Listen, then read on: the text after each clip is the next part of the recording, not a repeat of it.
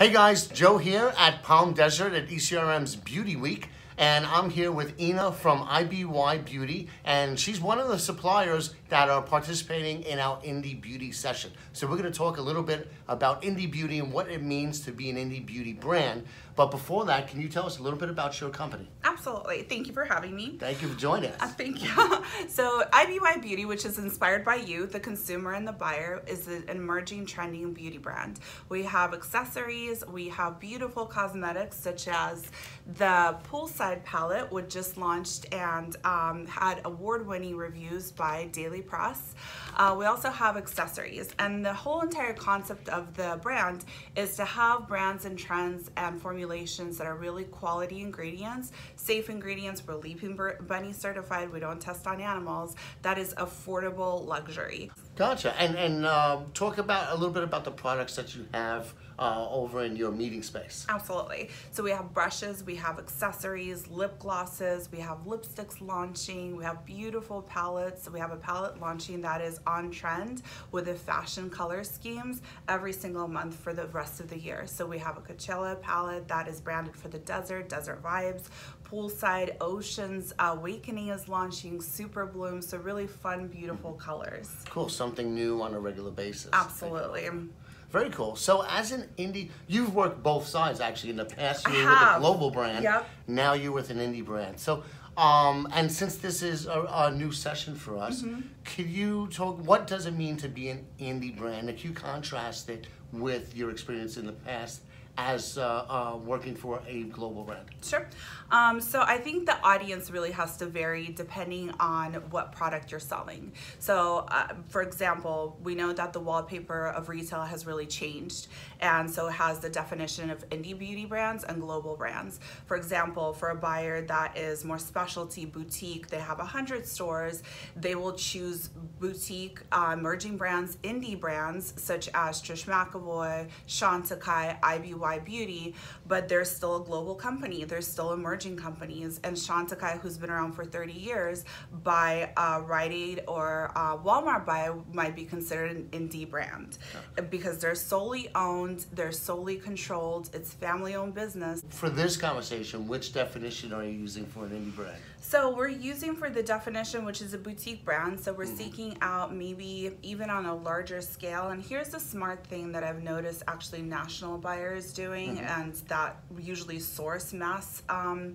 brands such as CoverGirl, Revlon. They started to looking at indie beauty brands to garner the clientele of the millennial. Mm-hmm. So they started to incubate certain doors that indie might be popular. Mm-hmm. So let's say a Walmart, for example, their buyer is extremely smart and intuitive with their consumers. So she started shopping brands that were emerging, so indie, and started doing incubations mm-hmm. within certain regions that might resonate with that brand. So she's supporting her sell through with CoverGirl or Revlon, and then that consumer is discovering a new brand. So it's building mm-hmm. brand popularity, brand loyalty on that side, but still driving the traffic with her main main core gotcha. products. And are there uh, specific, um, I guess, categories or certifications or types of um, products within indie beauty that are resonating with these customers? Like, for example, uh, sustainable, mm-hmm. sustainable packaging, clean ingredients, things like that. Are they trending more towards uh, those areas? Absolutely. I think the consumer is much more educated. They can look up anything online. They want to be um, have a reference point that is a beautiful website. So I think that the consumer is looking for clean ingredients, uh, Leaping Bunny certified, no animal testing. They want to make sure that they feel good about using the products that they're using. And so those are more prevalent with indie brands. Exactly. Those, okay. So, uh, what are some of the challenges that indie brands face? Um, I think it's the brands that come in here that are grassroots. They're, you know, they started in the kitchen or mm-hmm. the garage, and they don't have the ability to scale up.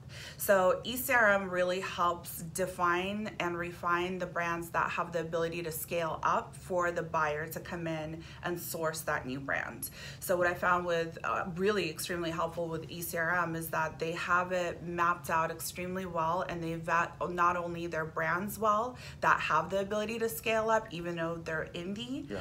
um, but they also make sure that the buyer, um, it's a relevant buyer that's seeing that brand. So I had a mm-hmm. really successful turnout at the show.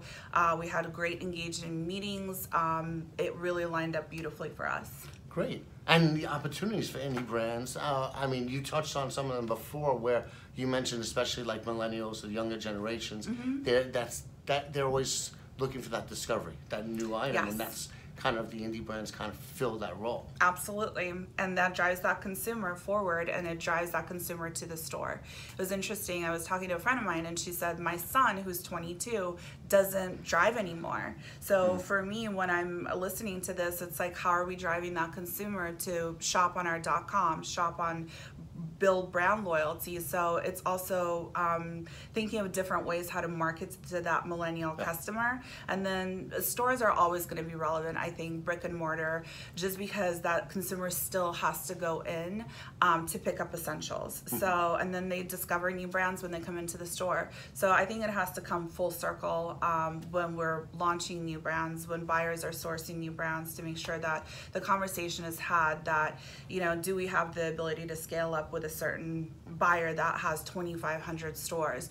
Do we have the ability to really push you know social media and marketing to that retailer to support our sell through um, does the buyer understand that we need a faster turn on our net to make sure that we're getting profit in while we're producing new batches? So i think it has to come full circle with the buyer and it's really having those really open honest conversations with them and saying that this is our ability and it's a true partnership with them So it sounds like there may be a little bit of a learning curve sometimes uh, when you when you're dealing with some of these brands, starting in their kitchen or whatever. Yep. Um, they may we're saying we're seeing a lot of this uh, on the CBD side. You'll have a lot of these startups, and they may be experts on CBD and hemp, but they're not experts in dealing with mass retail.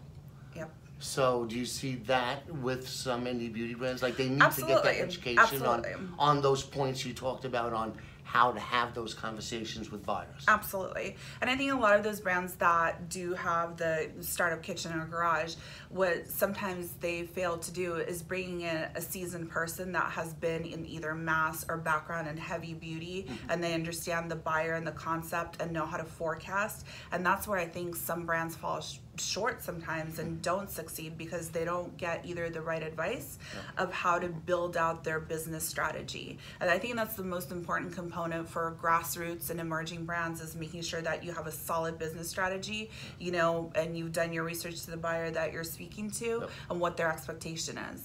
I think that's a great point, especially bringing on some expertise, uh, people who know how to deal with the, the mass retailers. Mm-hmm. Uh, they may have contacts, they know the brokers, they know everybody they need to know to kind of at least get that conversation going. Absolutely. I mean, you guys are great at doing that. Well, you know, you yeah, we like making yeah, we like making those connections. So you've been coming to our sessions for a while Mm-hmm. uh, uh, with other companies as well as this one. Absolutely. How's your experience been over the years? Um, it's been really positive. I felt like I really grew up in the industry. I felt like Aram has a lot of the time guided me to a positive direction and given me solutions to um, some, you know, pitfalls we all stumble upon. So I found it a great resource. It's a pleasure working with you year after year. So I've had a great experience. Excellent, and Thank you're you. using RangeMe too, right? I am. I was one of the first people that really supported RangeMe and really supported um, their growth. I um, made sure we participated with them right from the get go. So probably before we before acquired- East okay, okay, absolutely yeah, acquired all them. So I saw the trend of where the buyer and how they were sourcing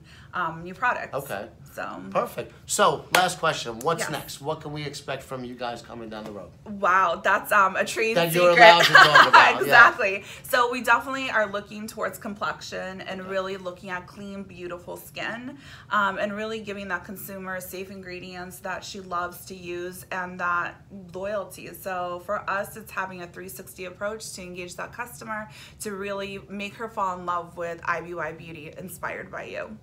Excellent. Well, thank you for joining us. Thank you for all that great information. Thank you. And I look forward to seeing you at the next one. Excellent. Thank you so All right. much.